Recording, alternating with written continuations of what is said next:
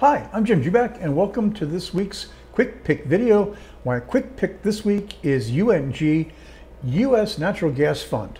We're looking at natural gas at an 18-year high on the NYMEX. Uh, it closed for June futures, it closed at uh, $8.08 per million BTUs. What we're looking at is a big, big surge, uh, and you don't have to look very far for, for the cause. It's, it's the war in the Ukraine, sanctions on Russian gas, uh, the continued uh, crunch in production uh, as uh, the Russian industry confronts the fact that its technology is really crappy, and the refusal so far of U.S. natural gas shale producers to up production. Uh, they're staying pretty much solidly in the let's not do a lot more drilling camp that they were encouraged to stay in by Wall Street.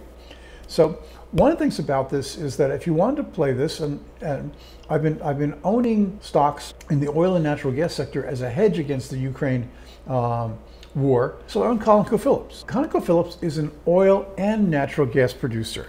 And, you know, it's not actually up today. It's uh, down uh, a little bit.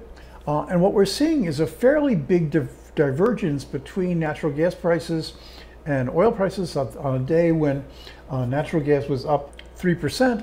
Uh, West Texas Intermediate, the US benchmark, was up only a tenth of a percent. So what we're seeing is, is not getting a big pop out of diversified uh, oil and natural gas producers Let's look at another stock here in the sector. Uh, this is Pioneer Natural Resources. They came out recently with a huge, huge dividend. Uh, so the stock is actually up today, but it's up only about three quarters of a, of a percentage point. Uh, you're not, again, not getting the full effect of the natural gas price surge, which is why I would like to, and I'm going to add U.S. Uh, Natural Gas Fund to um, my volatility portfolio um, because I think this is a relatively short-term play, uh, although longer than we might expect. And you can see this this incredible rise here.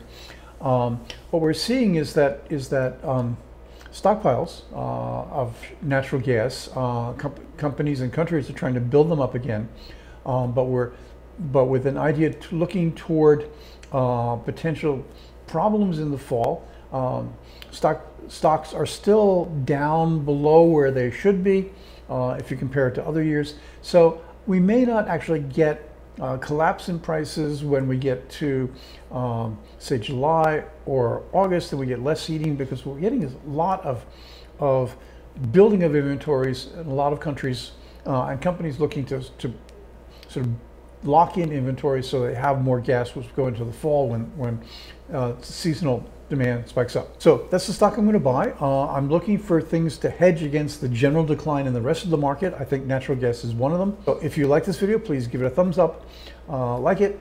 Uh, if you want to subscribe to my YouTube channel so you get notification of when I'm doing more, please do so. Uh, if you want more of my stuff, posts, three portfolios, you can go to my free site, jubakpicks.com, or if you want six portfolios, including the volatility portfolio that'll have uh, U.S. natural gas in it, uh, you go to my paid site, that's jubakam.com. Links to all that stuff down below. Thanks very much for watching.